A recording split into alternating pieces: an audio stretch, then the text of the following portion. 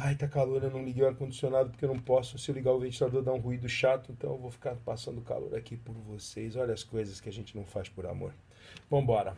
Deixa eu ver aqui a primeira pergunta. Olha, você viu que foram dois programas com perguntas de, diretas para diretamente feitas para a pequena de rapina. Sobre switcher. Você respondeu muitas perguntas, né? É verdade. tem... Mas tem pergunta que eu te mandei agora aqui. Já tem pergunta? Mas é para mim ou é para águia? Não, é para você. Hum, deixa eu ver aqui. Deixa eu puxar para cá. É sobre marca definitiva. Nossa, marca definitiva.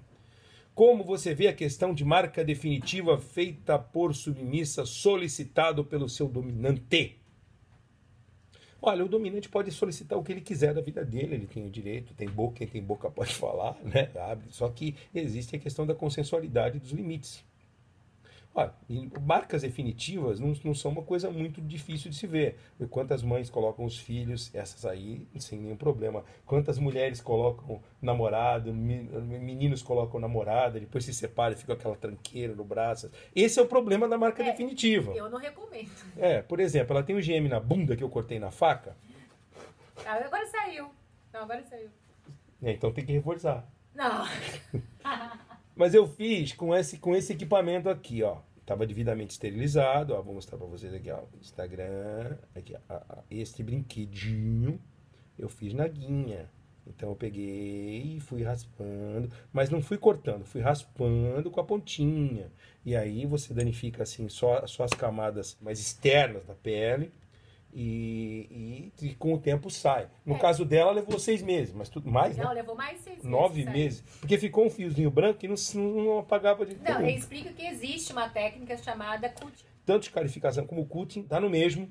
E você pode dizer que cutting é no inglês e escarificação é no português. São maneiras de você marcar a pele, fazendo que a marca seja a cicatriz. Então você provoca uma cicatriz e essa cicatriz, dependendo do como ela é feita, pode ser permanente Uh, às vezes o trabalhar em cima da cicatriz. O que, que é a cicatriz? A cicatriz é a pele quando ela se regenera de forma desorganizada. Então, uh, existem técnicas de você provocar essa desorganização para deixar o queloide mais evidente. Uh, se você provocar uma, um corte grande, deixar uma, uma, um trecho de pele faltando, o queloide que vai formar ali, a, a, o fechamento não vai ser perfeito. Vai ficar uma marca.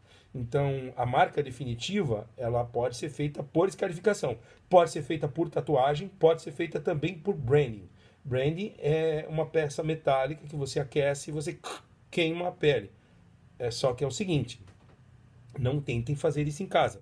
Então é uma peça especial, é um tipo de um clichêzinho sutil, feito próprio para isso, é, que, que tem uma temperatura certa, que ele vai provocar um dano X na pele sem mandar a pessoa para o hospital. É, gente, okay? não faça isso com gente que não sabe. Por Bom, favor. A questão... Se forem Bom, fazer. Mas aqui é o seguinte: muita gente é, é, é partidária das marcas definitivas. Só quando são tatuagens feias que a pessoa salva ou, ou cobre geral. Quem faz tatuagem já está preparado para uma marca definitiva. Agora, a questão é: coloco uma marca definitiva de uma pessoa, será que essa pessoa vai ser definitivamente minha dona? Ou eu coloco o nome do, do, de um parceiro aqui, aí depois eu me separo desse, ponho outro, ponho outro nome, vou cobrir, vou virar uma lista telefônica. É, eu acho que não faz sentido. Eu acho que tem que escolher muito bem, eu acho que é gosto do freguês. Eu acho que assim, se você quer. É, é porque no, no, né, dentro do BDSM, essa questão da propriedade, dos símbolos, é algo muito forte, eu entendo isso perfeitamente. Mas se você quer ter assim a marca das, do seu dominante perto de você, eu acho que seria melhor um colar, algo assim, que você manda fazer especificamente e tal. Porque assim, quando você estiver com ele, se for um mês ou para a vida toda, você coloca esse colar ou essa, sei lá, tornozeleira, enfim, qualquer outro. Faz uma marca de rena. É, entendeu? Agora. e você, vai pintando ela. Reforça. Dura uma semana, dura um mês, vai fazer. Você fazer uma tatuagem, seja dentro de um relacionamento BDSM ou fora, é uma coisa muito arriscada. A gente nunca sabe o dia da manhã. Por mais que você queira ficar com a pessoa. O Uter me adicionou no, no Facebook. Ah, é, a carinha dele. É o Uter. Conheço Por mais que você queira ficar com a pessoa, talvez aí a vida inteira, a gente nunca sabe o dia da manhã. Então você vai ficar com aquela marca. É um Olha, eu acho, que, eu acho que essa questão da marca é, é, eterna. A marca, a melhor marca e a mais difícil é aquela na alma. Tipo, pois olha é. aqui, olha a marca da aguinha, tá na alma, olha aqui, ó, na mão, aqui, tá na alma. Se vocês olharem aqui dentro, Tem uma marca em algum não, lugar. Não, tá aqui, não adianta. Não precisa desse tipo de simbolismo. E a marca que ele fez em mim foi uma marca que. É, Você sabe... pediu. Então, e ele sabe o que está fazendo. E era temporária. Ele, ele conhece inúmeras técnicas, eu jamais faria com alguém que não tivesse perícia. A escarificação é simples. Se você fizer direitinho, e, ela dura é, meses. E ele não fez para ficar muito tempo. Eu é. errei na dose, era para ser uns dois, três Cara, meses, durou não nove era meses. Pra ter ficado. É tão karma um meu que ficou, né? Só de ah, sacanagem. era uma marquinha branca, não ficou um queloide, é, ficou só uma. Ficou Porque... assim, tinha que chegar muito perto para. É que ficou faltando ver. melanina ali, né? Ficou é. branquinho, né? Mas depois. Então por isso que demorou a sair. Não gente. colabora que ela não toma sol. É claro assim. Ela é uma, ela, ela tá mais para coruja do que para águia, porque ela é. é uma criatura da noite. Não existem águias noturnas, ela é uma corujinha. Ela tem um olhão assim. Então, o problema é que eu também fiz essa marca numa área que, mesmo que ela tomasse sol, não ia conseguir. Só se ela ficasse pelada, porque eu fiz bem naquele triângulozinho acima da bunda que vai o biquíni, o triângulo do biquíni. É, ficou muito Ficou ali.